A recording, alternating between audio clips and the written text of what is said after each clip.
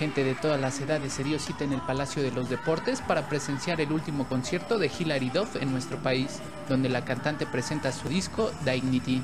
Aunque la mayoría de los asistentes eran jóvenes, también había algunos adultos que acompañaban a sus pequeños que ya son fans de la también actriz.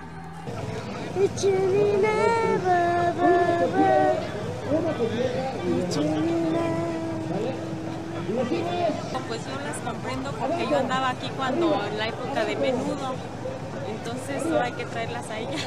Como le gusta, comparto sus gustos. ¿A usted le gusta? Sí, porque a ella le gusta.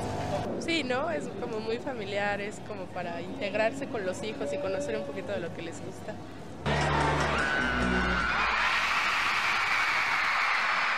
Cerca de 14.000 asistentes hicieron que el domo de cobre se cimbrara por gritos y brincos en el momento en que las luces fueron apagadas para dar inicio al show de la exprotagonista de la serie, Lizzie McGuire.